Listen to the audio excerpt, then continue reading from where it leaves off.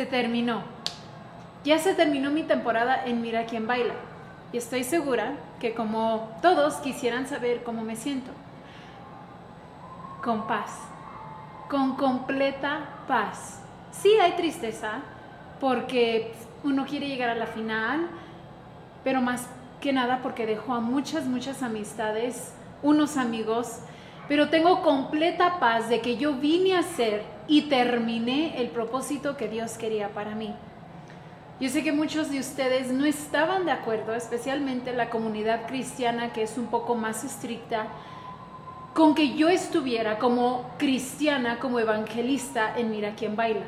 Pero yo sé con certeza, ahora más que nunca, ahora con el último programa y con la despedida que tuve, que este fue mi propósito. No les puedo explicar con detalles, porque parte de la historia es de alguien más y a esa persona eh, le pertenece contar su historia pero si vieron en el último programa, el momento que tuve con Lolita Cortés, donde ella pudo abrirse por primera vez públicamente sobre el abuso sexual en su vida, es magnífico. No saben el impacto que hubo en ese momento en que ya cámaras no importaban, el baile no importaba, la expulsión no importaba, sino el alma, el corazón y el espíritu de una mujer, de una mujer muy importante para México para los Estados Unidos y para Dios. Ese momento transformó la vida de Lola Cortés y también la mía.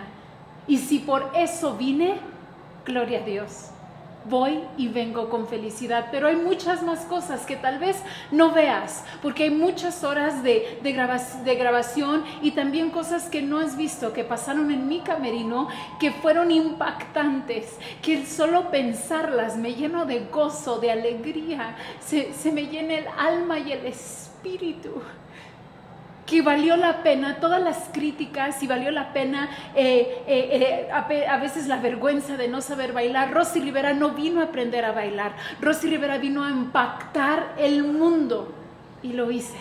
Y me voy feliz.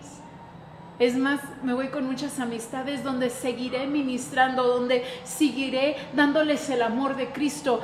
Mi propósito en este mundo es diferente, no es como el que hemos visto Puedo predicar dentro de la iglesia, pero igual predicar fuera de ella. Y Dios me ha dado una plataforma y la tomé. Y gracias a ustedes que estuvieron orando conmigo, a mi madre, a mi familia, a mis hermanos, a mis sobrinos, a la iglesia, a Restauración Total, a mis pastores que estaban aquí justamente en el último programa para hacer ese impacto. Almas se salvaron. O sea, recibieron a Cristo y un Dios lo contarán pero se impactó el mundo. Mostramos que hay un Cristo que ama, un Cristo de misericordia y no solamente reglas de cómo vestir y cómo actuar. Yo sé que tal vez no puedas entender, yo tampoco lo entendí al principio, pero a veces si no entiendes algo, en vez de juzgarlo, ¿qué tal si lo oramos? Galatas 5 dice, ora por tu hermano.